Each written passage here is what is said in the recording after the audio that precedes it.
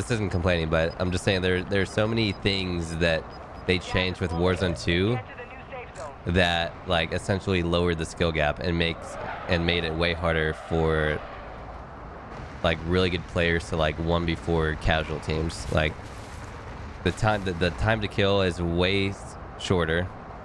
You can't sprint while plating anymore. So like what the hell?